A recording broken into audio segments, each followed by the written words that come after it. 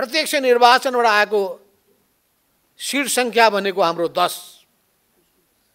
दस सङ्ख्यामा आएको पार्टी भनी भनिसकेपछि संसदमा यसको हैसियतलाई अझै पनि विचार गर्नुहोस्।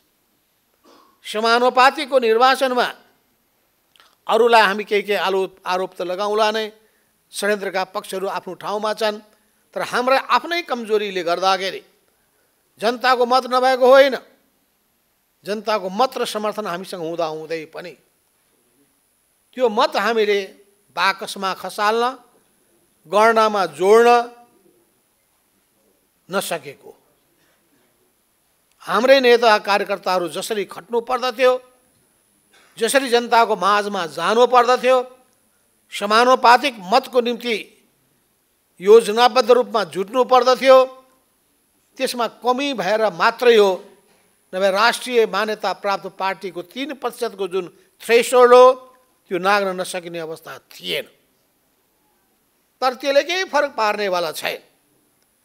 त्यो थ्रेसोल्ड पार गरेको भए हामीलाई एउटा हेलिकप्टर दिन्थ्यो कि हवाई जहाज दिन्थ्यो कि केही दिनेवाला थिएन। कुनै बस्ने पार्टीको अफिस दिन्थ्यो कि केही पनि छैन। त्यसको निम्ति कुनै रकम दिन्थ्यो कि त्यो पनि दिँदैन। हो, कतिपय देशहरूमा त्यस्तो छ।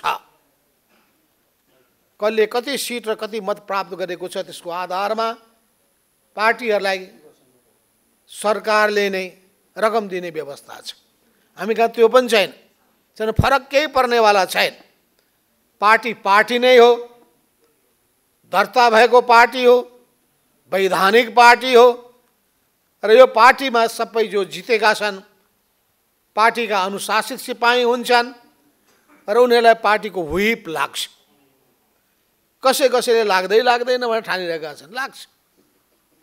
जसरी थ्रेसोल्ड पार पार गरेका पार्टीमा आफ्नो सांसदहरूमाथि व्हिप लाग्छ त्यसै गरी थ्रेसोल्ड पार नगरे पनि हाम्रो पार्टीमा पनि व्हिप लाग्छ।